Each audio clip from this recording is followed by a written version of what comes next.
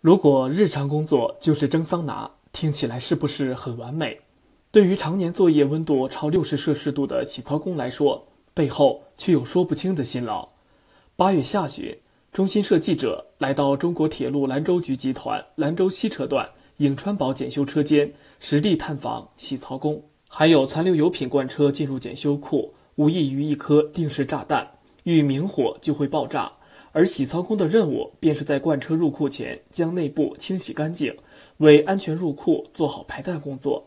因此，他们被形象地称之为油罐列车里的拆弹部队。在兰州西车段颍川堡检修车间，洗槽工王春红和工友们穿戴好静电工作服、厚底胶鞋、防毒面罩、帆布手套等设备，登上三米多高的清洗台，将高压蒸汽注入罐体，溶解残留油品后。待温度降至八十摄氏度左右时，钻入罐内开始清洁作业，就跟那个洗澡的那个洗桑拿那个感觉比那个还要夸张。那个温度你还可以自己调控，这个下到这个密闭的这个空间里面，罐内的温度基本上就是在六十度。这这高温人呼进去那个气啊，呼吸道整个是烧的，是辣的。有着三十四年工作经历的王春红说，在酷似火上烤的油罐内，洗槽工先用长柄刷子。对罐体内壁反复刷洗，再用抹布一点点清洗罐壁。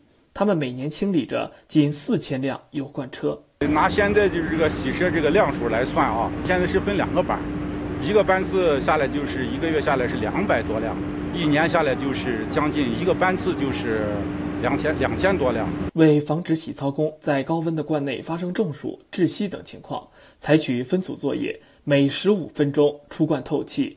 并给身体补充水分。职工下去作业，必须十五分钟之内要上来。第二，罐口有监护人进行互换应答，他俩进行信息的传递。如果真有就是窒息啊这些情况，咱们立刻有安全绳，完了以后把这个职工就吊上来。这么多年没有发生过，因为职工下去以后窒息，往上。